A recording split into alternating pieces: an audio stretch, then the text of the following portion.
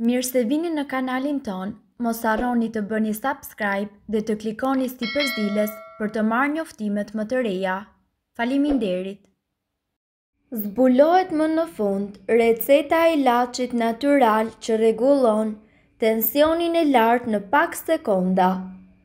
Presioni i lartë i gjakut dhe problemet me nivele të larta të kolesterolit janë dy probleme shëndetësore që prekin një masë të madhe njerëzish. Ato mund të trajtohen edhe në shtëpi me përbërës të cilët gjenden në guzhinën tuaj. Kjo recetë e këtij ilaçi natyral është shumë e thjeshtë për t'u përgatitur. Rekomandohet të konsumohet për shtatë ditë rresht për efekte të mrekullueshme. Përbërësit janë një copë xhenxhefil, një thelb hudhër, një lugë gjelle uthull molle, një lugë çaji mjaltë dhe një lugë gjelle lëng limoni. Përgatitja, Qëroni xhenxhefilin dhe hudhrën dhe vendoseni në një blender.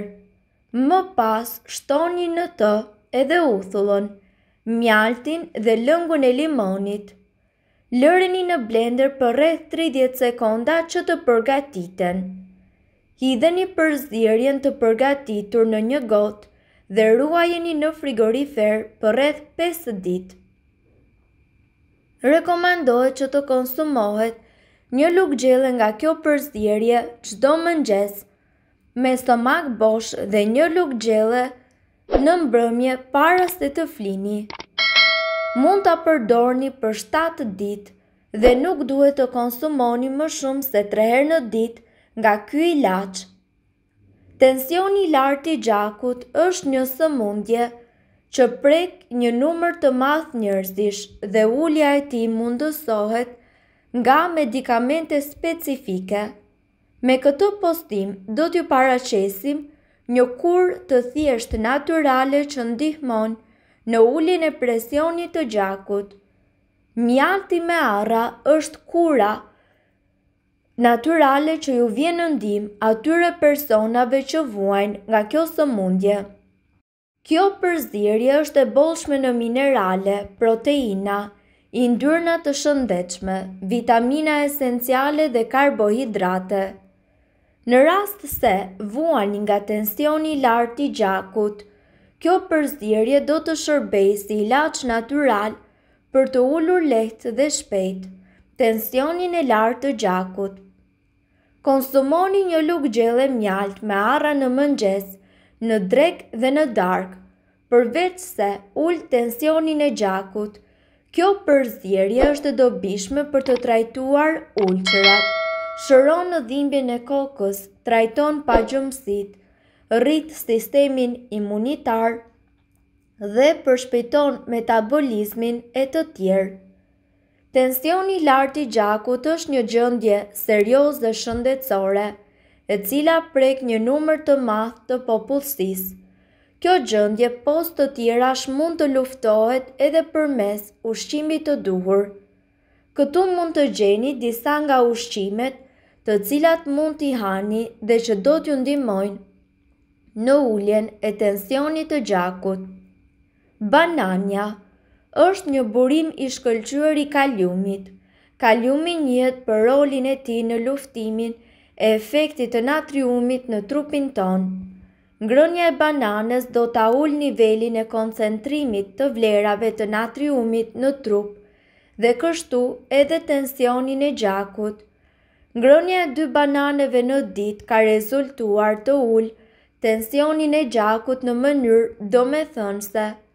Mund ta konsumoni si të vetme apo në kombinim me ndonjë frut tjetër. Avokado, Ky frut është i dobishëm kur është në pyetje ulja e tensionit të gjakut. Njëjtë sikurse bananet dhe avokadot, përmbajnë sasi të mëdha të kaliumit. Avokado po ashtu përmban sasi të yndyrës së pangopur, e cila rrit nivelet e kolesterolit të mirë në gjak.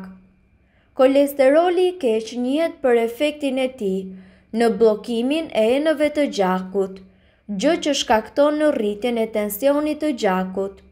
Avokadot e rrisin nivelin e kolesterolit të mirë, i cili ndihmon në uljen e vlerave të tij.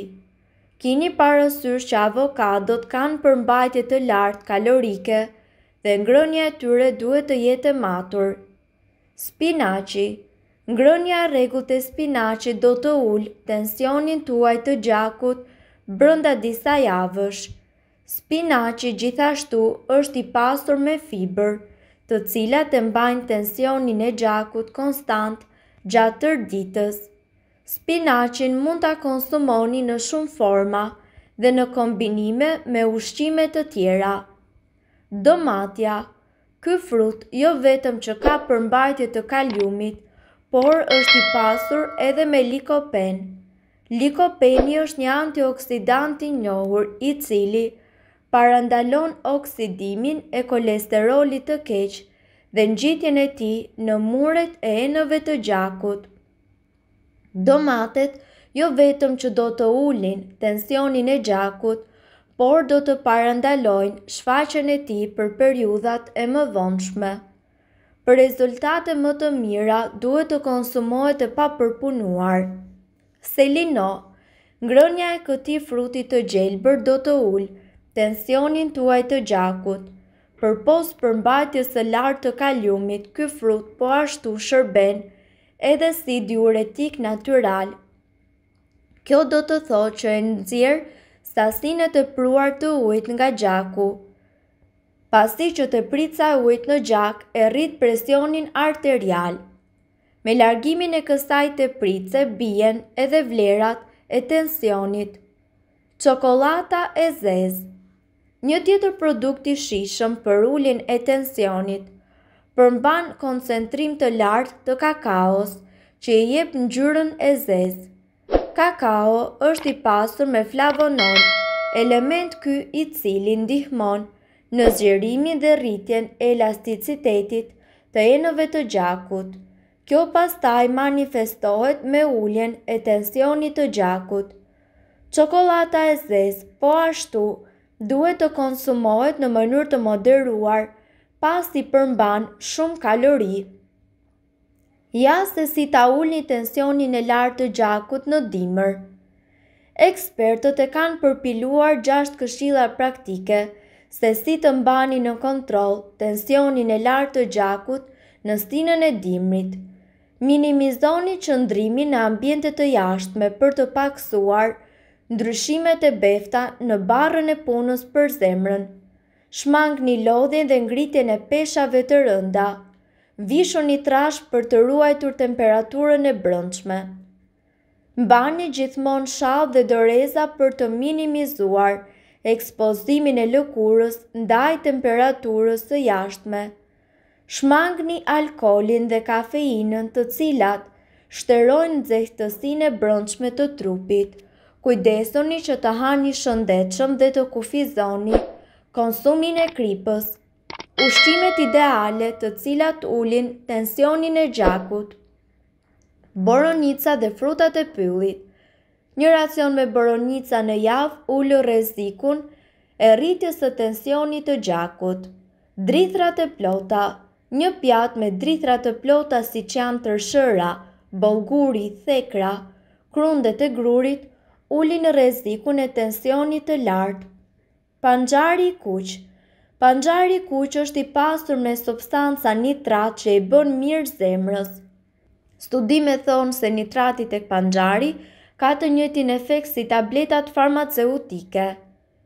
Spinaqi Spinaqi është një burim i pasur kaliumi dhe magnezi, që e mbajnë tensionin e gjakut në nivel të qëndrueshëm. por eliminojnë edhe kripën e tepërt, e cila është përgjegjëse për tensionin e lartë. Nëse doni të dëgjoni video tona që ne postojmë çdo ditë, kliko Subscribe. Ju ftojmë gjithashtu të bëni like në video tona nëse i keni dëgjuar dhe pëlqyer ato. Faleminderit që e patë videon tonë. Shpërndajeni këtë video në profilin tuaj në mënyrë që të informohen edhe shokët tuaj. Faleminderit!